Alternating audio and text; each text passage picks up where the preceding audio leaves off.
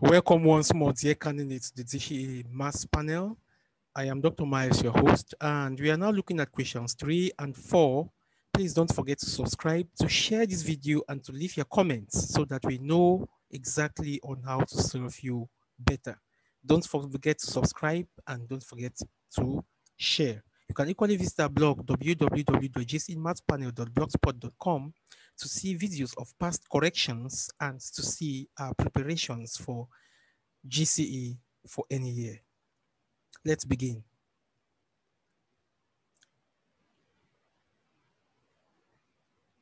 Question three, draw the truth table for each of the propositions.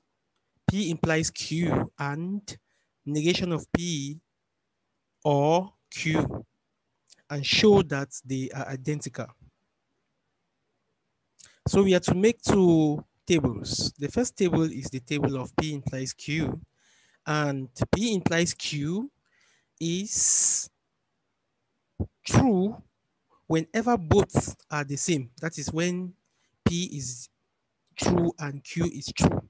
P implies Q will be true. And even when both are false, it will be true. So it is true when both are the same. It will only be false when the second is false. It will only be false when the first is true and the second is false. All the other cases, it is true or one. So in this case, we have this table. Then now for the negation of P or Q, note that the all logic statement is only false when both are false or it's only zero when both are zeros. So note that on this table you can use either zero and ones or you can use true and false. But at advanced level, maybe it'd be better for you to use zero and ones. So for negation of P or Q, this is what we have. And here, negation of P negation of 0 is 1. That is 1 or 0 will give us 1. The negation of 0 is 1. 1 or 1 will give us 1. Here, negation of 1 is 0. 0 or 0 will give us 0. And here, negation of 1 is 0 or 1 will give us 1. As I mentioned before, the OR statement is only false when both are false in this case. Now, when you look at these two tables, you see that they're actually identical. So whenever you have P implies Q, you can reduce it by using negation of P or Q and vice versa. So we conclude that P implies Q is identical to the negation of P or Q. The B part of the equation reads, given sine inverse of x equals alpha and cos inverse of x equals beta, or A and B, show that sine A plus B equals 1. Yes, this is one of the questions too that's been tough and a lot of students has been sending me a lot of messages on actually doing this tutorial. First of all, apologize for doing it late. We have been delayed by many other things, technicians and so on, and school work too, you know, we equally have a lot of work in our hands. So here we start by saying that A plus B, I've used alpha and beta, I've used A and B for alpha and beta. So A plus B should be equal to sine inverse of X plus cos inverse of X. And Sine A plus B therefore be equal to sine of sine inverse of x plus cos inverse of x. So the right using uh, the right hand side can be simplified as so we have two angles here, sine inverse of x and cos inverse of x. So you have sine this angle, sine sine inverse of x cos cos inverse of x plus now cos cos sine inverse of x sine cos inverse of x. But we know that sine, the sine of sine inverse of x is x, and the cos of cos inverse of x is x. So that gives us x times x plus cos of sine inverse of x. We have been told that the sine inverse of x here is a. So that gives us cos a times cos inverse of x is um, b. So we have sine b. So how do we simplify now from this step? From here, we see that um, sine alpha is equal to x and cos alpha is equal to x. Therefore, we know that sine alpha is equal to cos alpha. So sine alpha is equal to x equal to cos alpha. Here is cos, please. Um, here is cos, cos. So thank you. So it therefore means equally that sine B should also be equal to cos A. If sine A is equal to cos B, then sine B should be equal to cos A. So now here in the next step, we have this. So our x is the same as cos B. So cos B times cos B plus um, sine B times sine B because now that cos A is the same as sine B. So this gives us cos squared b plus sine squared b. And from trigonometry, this gives us 1 as required.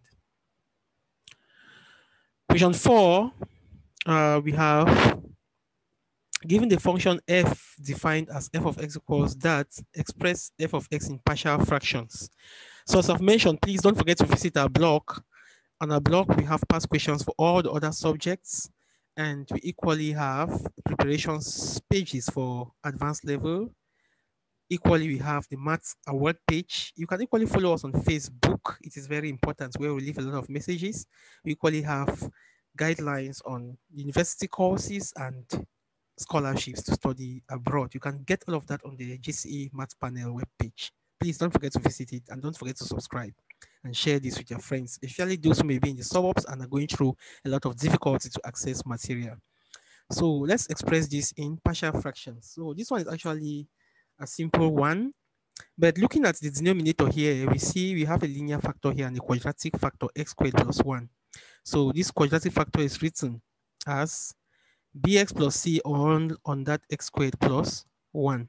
If this video is too fast, please go to the bottom right of your YouTube page um, on your phone and reduce the speed to 0.75. If it is not clear, go and adjust the resolution to maximum because you are economizing data, so it might not be good. So adjust the resolution to maximum and you will get it exactly as clear as it's supposed to be. So here, when we multiply all through by x minus 1, x squared plus 1, we will have x plus 1 to be identical to a into x plus 1 plus bx plus c into x minus 1. And when x is equal to 1, this one will reduce to 0 and we'll be left with 1 plus 1. So we'll be left to 1 plus 1 is equal to 2a to be equal to 2 and a will be equal to 1 by comparing variables. Then we now expand. Since we already know that A is equal to 1, we can now expand so that we can get the values of B and C by comparing variables. So when we expand, we'll have x squared plus 1 plus bx squared plus cx minus bx minus c. And when we compare the coefficients, we will have b to be equal to minus 1 and c to be equal to 0. Therefore, f of x can be expressed as being identical to 1 over x minus 1 minus x over x squared plus 1.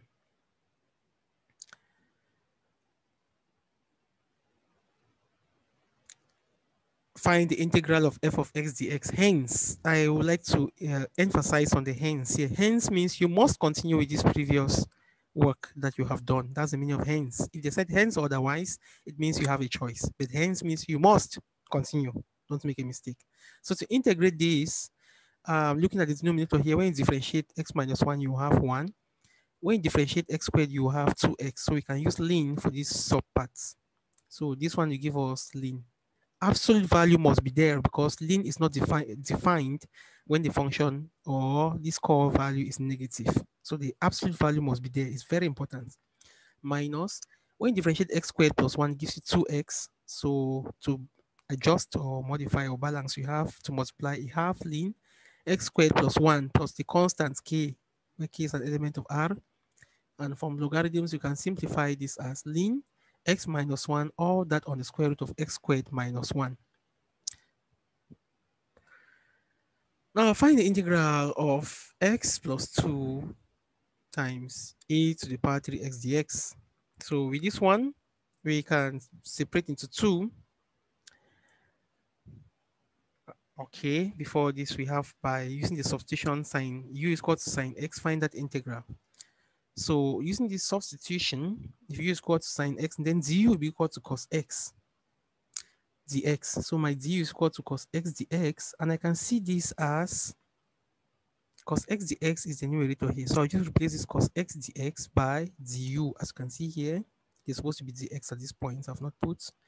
And all that over, since u is equal to sine x, then sine squared x will be equal to u squared, 1 plus u squared.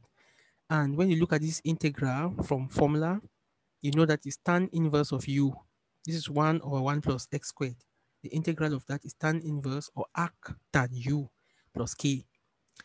Now, this now gives us arc tan, but now u is equal to sine x. So you have arc tan sine x plus k prime now because um, I've changed from the variable u to x. Now k prime, where k prime is an element of r. Now find that integral.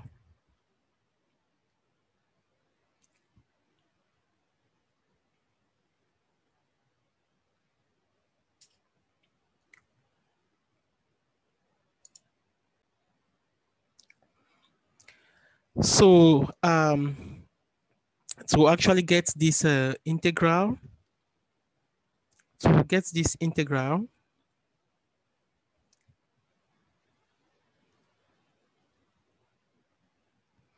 to get this integral, we can break this um, into two parts, a and b, x e to the power 3x plus 2e to the power 3x. So for a, we have x e to the power 3x. We can see that let our u be equal to this x. Let our u be equal to this x. And our du be equal to dx. And let our v be equal to e to the power 3x. And our dv is e to the power 3x. And v will be equal to 1 third e to the power 3x.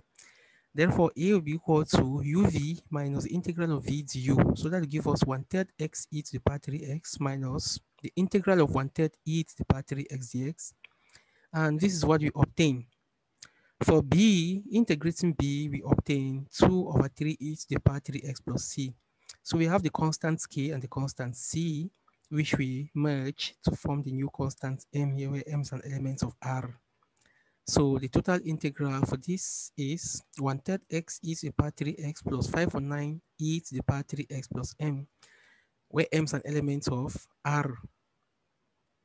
Thank you so much. Stay tuned and don't forget to subscribe and to watch the next scripts for questions five and six. Bye bye.